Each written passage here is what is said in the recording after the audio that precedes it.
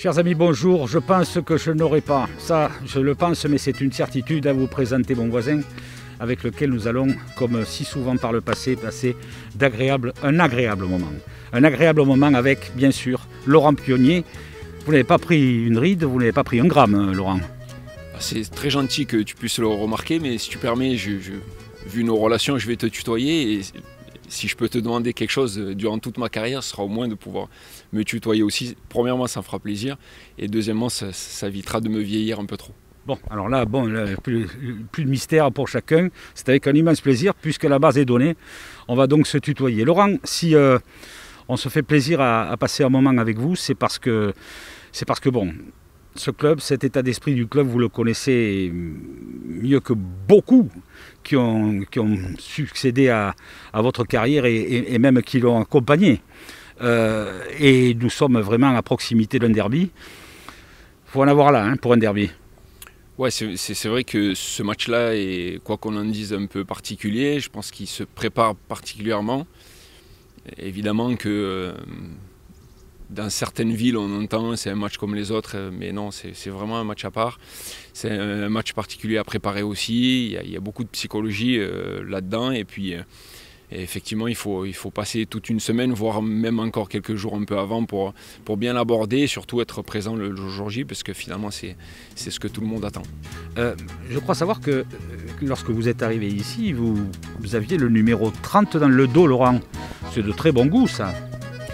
Alors, euh, effectivement, j'ai porté le numéro 30, mais ce n'est pas le premier numéro que j'ai eu ah. euh, dans le groupe pro. Euh, évidemment, quand je suis arrivé, nous étions en D2, l'année où nous sommes remontés directement après la descente. Et le numéro qui m'avait été affecté était le 28, donc c'est mon premier numéro dans le groupe pro. Et ensuite, effectivement, j'ai eu le numéro 30 par la suite, mais précisant que j'étais un des plus jeunes, je n'avais pas le choix du numéro, hein, je n'avais pas ce poids-là à l'époque, donc c'était un numéro qui m'avait attribué.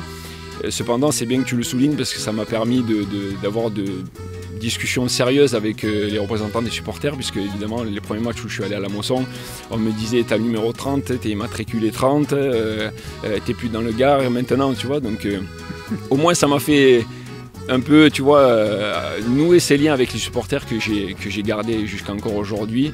Et ça m'a permis aussi une chose avec eux, c'est de rester vraiment en toute franchise.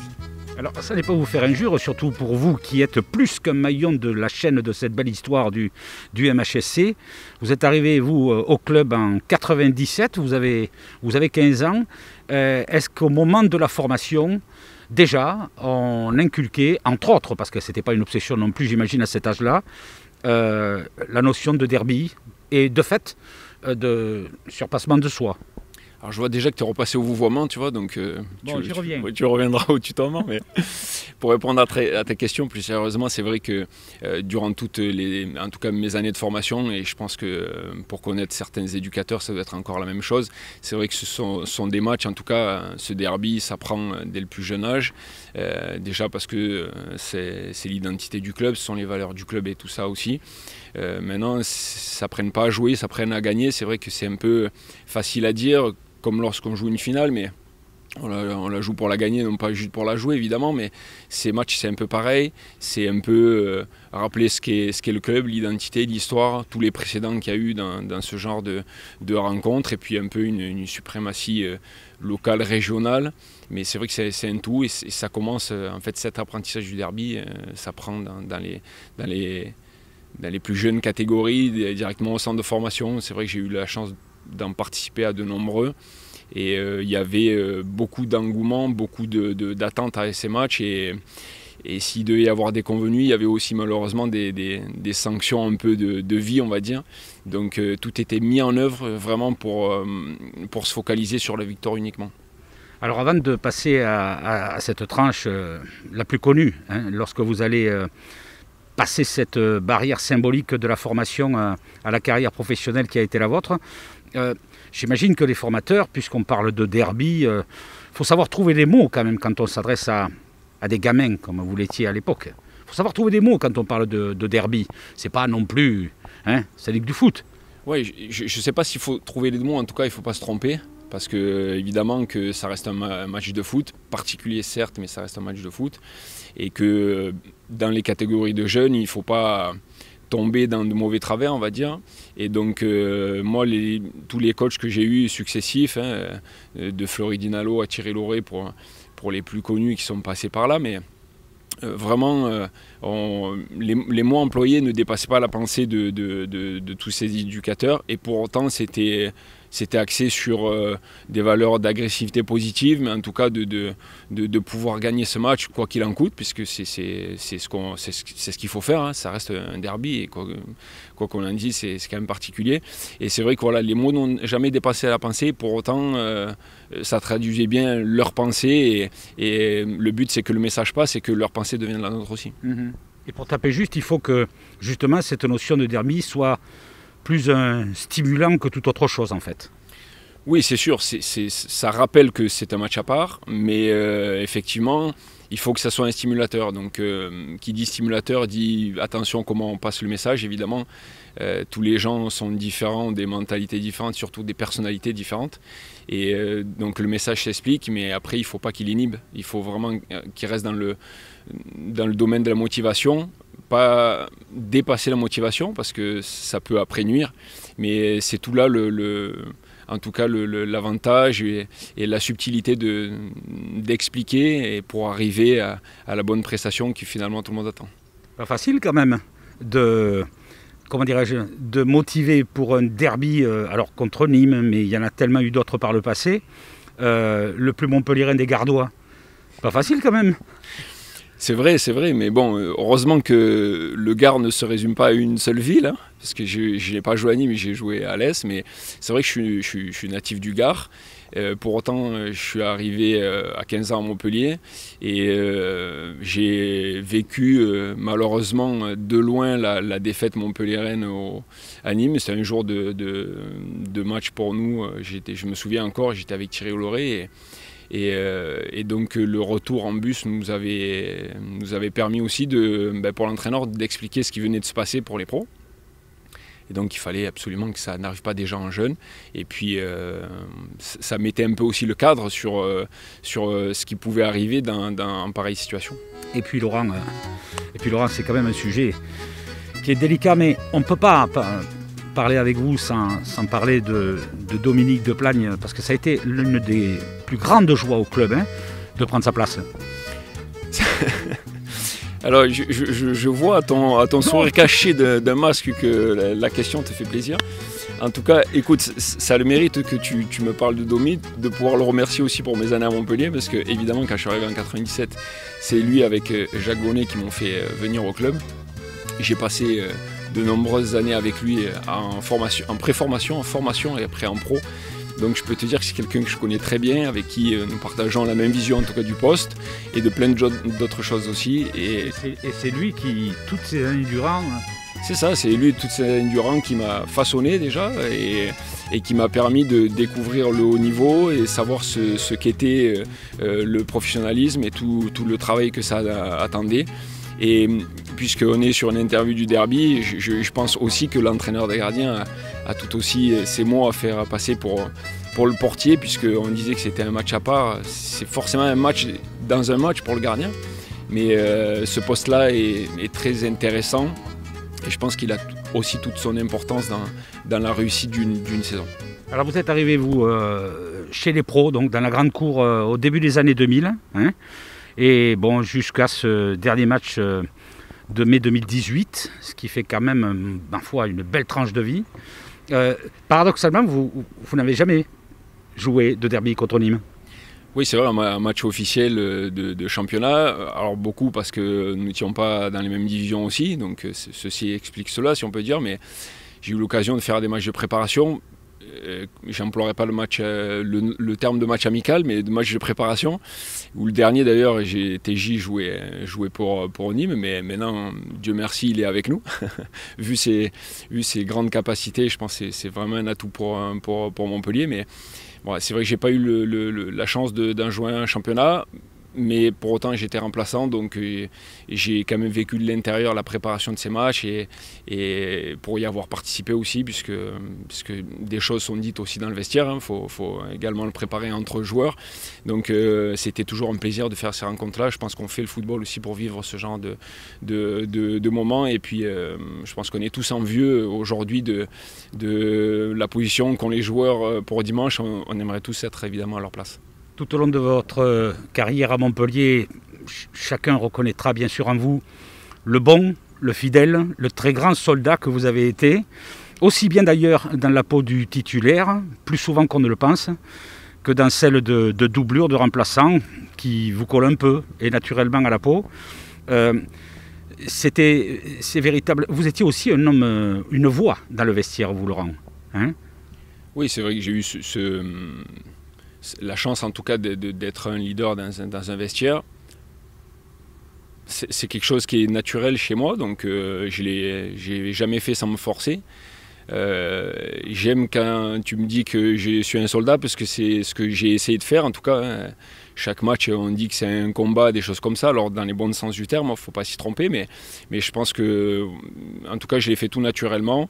Ça m'a permis aussi de vivre aussi ma, passion, même si, comme tu as dit, j'ai été aussi remplaçant, mais pas que, même si c'est une, image qui, peut coller ou pas.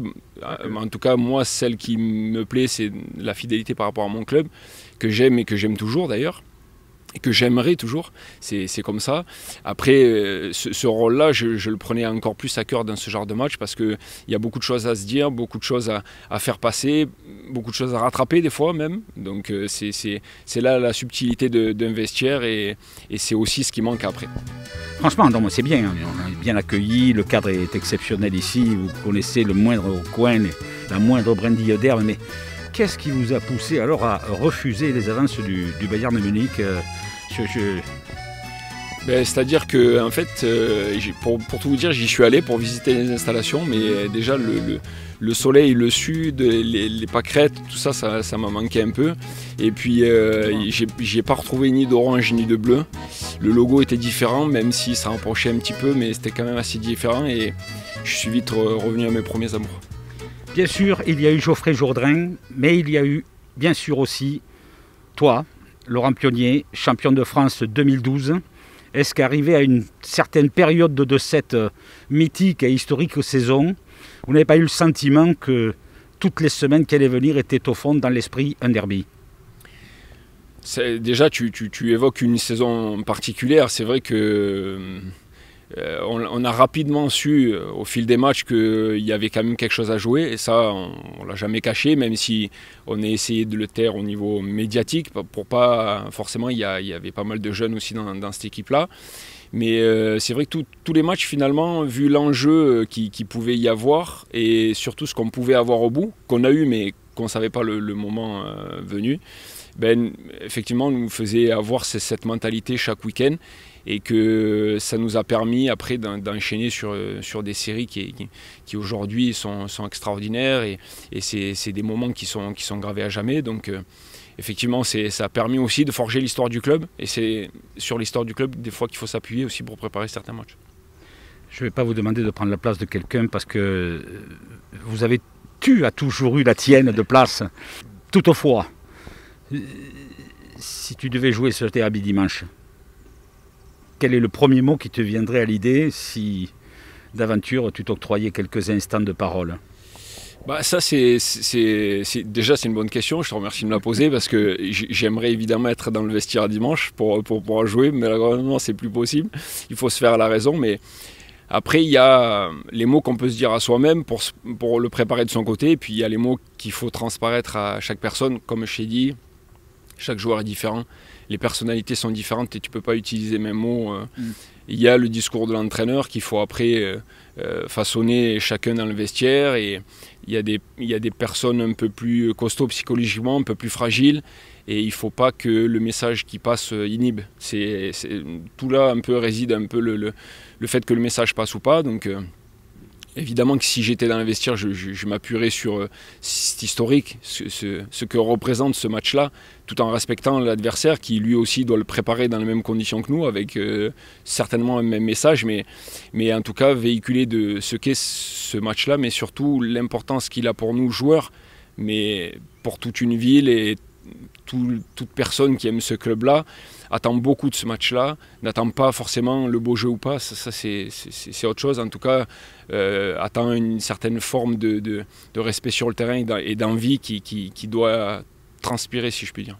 J'allais dire, Laurent, est-ce que c'est, est-ce que quelque part, ça c'est un peu quand même difficile de tout à la fois trouver sa zone de motivation et, ne pas franchir la ligne euh, quand on a autour de soi la ferveur euh, qui paraît évidemment démesurée des, supporters ça, c'est évidemment un autre point qui est, essentiel à la préparation de ce genre de match. C'est-à-dire que euh, tout ce qui est autour, c'est infaisable, c'est impossible. Quoi qu'on en dise, de toute façon, tu ouvres n'importe quel média, déjà tu trouves des choses, alors encore plus à l'approche du match. C'est évident, de toute façon, tous les gens ici euh, découvrent le calendrier euh, en début de saison et se focalisent sur simplement deux matchs, le match aller et le match retour de, contre Nîmes, évidemment. Donc ça parle beaucoup, et, à juste titre, parce que c'est quelque chose qui, qui, euh, suscite l'engouement et l'envie chez, chez, tous les, les, amoureux de, des deux clubs, on va dire. Mm. Mais effectivement, comme tu l'as dit, il ne faut pas que ça franchisse, il faut pas que ça devienne un fardeau. C'est ça. Ça peut être un poids à un moment donné que de représenter euh, un club, une, une, historique, et puis tu n'as pas envie d'être la tâche de, euh, tu vois, qui va arriver dans, dans, l'histoire du club. Donc euh, tu, te, tu, te dois, tu te dois forcément. Donc après, ce devoir, il ne faut pas que ça, soit, ça inhibe certains, certains joueurs. Voilà. Il faut que tout le monde soit dans la même motivation. Après, le message, il faut, le, il faut savoir à qui on s'adresse. Une question annexe, Laurent. Euh, est-ce que ça conditionne aussi les choses quand on va aborder un derby, connaissant la position au classement de son adversaire? Parce que bon, on peut, voilà, il y a une certaine fierté locale, régionale, tout ce qu'on veut, mais quand les deux équipes sont au, milieu du tableau, là, c'est pas tout à fait la même. Nous sommes huitièmes, ils sont un pied dans la falaise, ça change un peu la donne. Oui, mais je pense que là, vraiment, pour ce match-là, les, classements importent peu parce que euh, les, motivations des deux côtés sont, euh, je pense, à leur, euh, à leur maximum. C'est forcément, comme je dis, un match à part, c'est c'est en dehors de tout euh, calcul ou stratège. Là, c'est un match à gagner coûte que coûte avec, euh, avec tout ce que ça comporte derrière, l'histoire du club, ce qu'on ce qu'on veut, ce qu'on veut laisser aussi. Parce que, comme je t'ai dit, j'ai pas eu trop la chance non plus d'en jouer, mais parce qu'on n'était pas dans la même division. Là, euh, la région a la chance que les deux clubs soient dans la même division, il faut en profiter, c'est une bonne chose parce qu'au moins ça procure au moins ces deux derbys là par saison. Mais voilà, il faut, il faut rester dans, le, dans, ce que, dans ce que veut le club et ces derbys là, il faut le gagner. C'est extraordinaire quand, quand on y pense pour quelqu'un qui était promis à une carrière de pompier. Ouais, c'est vrai, j'en parle souvent avec Fred parce que Fred Mendy est pompier, donc euh, je, parle souvent avec lui de, finalement de ce que j'ai raté. Mais euh, au regard de ma carrière, je pense qu'on peut m'attribuer quand même la médaille du pompier aussi. Laurent, on aimerait passer euh, toute la fin de cette semaine avec vous et on aurait certainement de quoi débattre. Mais euh, je vais te laisser, Laurent, non sans quand même manquer cette dernière question. Est-ce qu'un derby, avec euh, tout ce qui vous entoure pendant les jours précédents, qui vous monte un peu le bourrichon, est-ce qu'un derby n'est pas un petit peu différent pour un gardien de but? C'est une, une, bonne question. C'est vrai que je pense que la préparation pour un gardien de but est totalement différente d'un joueur parce que, parce que déjà on est beaucoup plus mis, mis en avant malheureusement quand c'est moins bien. Mm. Euh, si on est propre, c'est normal. Donc forcément, tu n'as pas envie que l'équipe passe au travers, mais tu n'as surtout pas envie de passer toi non plus au travers. Hein. Donc, euh, donc particulièrement, oui, c'est sûr, c'est un peu plus particulier, mais, mais en tout cas, moi, enfin, en tout cas, pour ce que j'ai vécu, plus il y avait de la pression, mieux j'étais. Et donc, euh, ça, ça, m'a toujours donné un surplus de motivation, même si tant il fallait qu'il y en ait un peu plus. Mais en tout cas, pour moi, c'était au plus il y avait de la pression, au mieux j'étais répondant sur le terrain. Laurent, on va se quitter. Merci infiniment pour ces minutes passées ensemble, toujours trop courtes. Je suppose que dans ton cas, euh, puisque tu es quand même originaire de Bagnoles, hein, si je dis on va gagner, euh, toi tu es planqué. quoi. Hein. C'est l'un ou les autres, euh, ça t'annulera pas à outre mesure. quoi. Écoute, moi, moi, du moment que tu me dis si on va gagner et qu'il n'y a pas de doute sur qu'est-ce qu'est le on ou qui sont le on, il n'y a pas de problème. Tu sais que je suis né dans le Gard, mais pour autant mon cœur est ici, ça sera toujours, euh, toujours mon club euh, Montpellier. Et puis écoute, je profite du micro que tu me tends pour, pour passer un petit bonjour et la bise à tous les, gens qui aiment ce club et que je partage cette passion du coup euh, depuis de nombreuses années mais encore aujourd'hui et je les remercie encore aujourd'hui pour avoir participé au, moment que j'ai vécu et encore pour les nombreux messages qui, qui m'adressent et c'est toujours un plaisir de, aujourd'hui c'est avec toi mais c'est toujours un plaisir de, parler de ce club et de, des moments qu'on a vécu avec euh, quiconque euh, partage la même passion. Allez les vainqueurs et, et courage aux vaincus. Merci Lolo, illimitable, illimitable, exceptionnel, unique.